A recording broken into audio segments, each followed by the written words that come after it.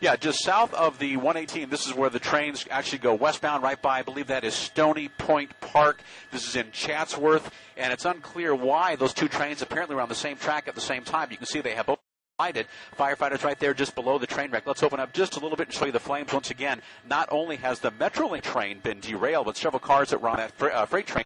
They've been derailed. One of those uh, turned over as well on its side. A great deal of diesel fuel. Also, there may be chemicals on board. A portion of